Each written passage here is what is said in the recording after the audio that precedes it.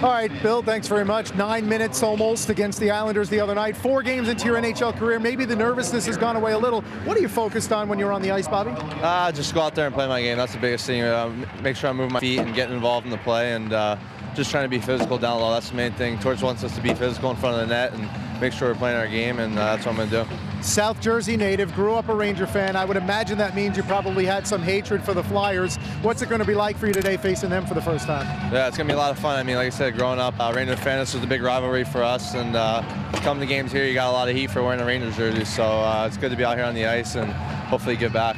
Uh, so you remember those days, I guess. Uh, you'll also face a kid that you, uh, a fellow Jersey boy, and also somebody you were on World Juniors with in 2008, James Van Riemsdyk.